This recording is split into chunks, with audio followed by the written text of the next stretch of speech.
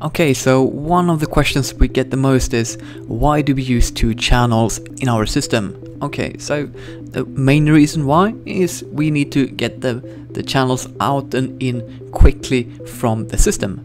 If we don't have the channels below, we have to manually sort of aim the channels onto the other side each and every time we put in a channel and that takes a long time.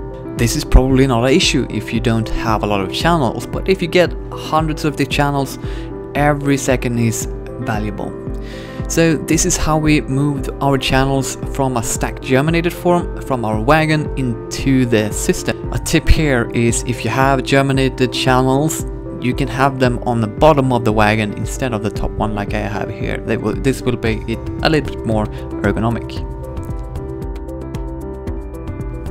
So under the channel we have this small guide rail that helps us push in the channel on the right place.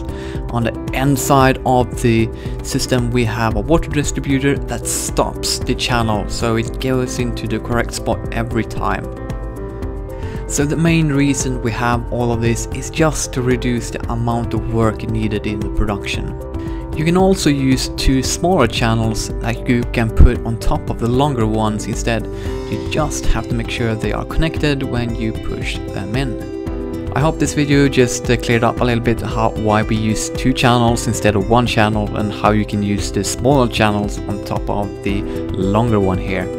So I hope you enjoyed the, the video, hope to see you again here. Thank you.